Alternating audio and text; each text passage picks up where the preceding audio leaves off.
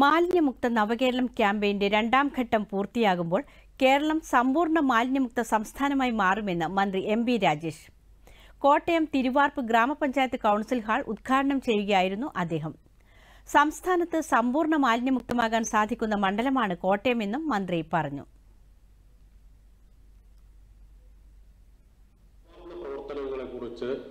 ആത്മവിശ്വാസത്തോടെയും അഭിമാനത്തോടെയും ചടങ്ങിൽ മന്ത്രി B N Vasavan അധ്യക്ഷനായി.